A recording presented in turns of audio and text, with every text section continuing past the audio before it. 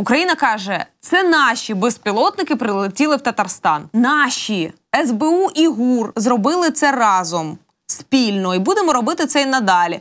1200 кілометрів. Та це ми. От, будь ласочка, можемо показати відео, як ми це зробили. Е, Виходить Гурульов і каже: ну бути такого не може, щоб з території України пролетів безпілотник.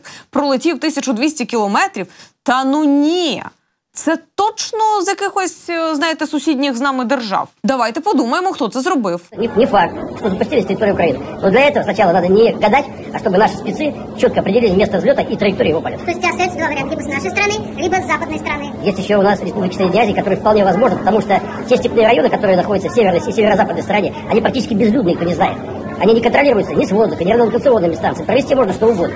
Казахстан, як ви там? Нормально все у вас? Тут вас тільки що звинуватили в тому, що ви підірвали НПЗ на території Росії.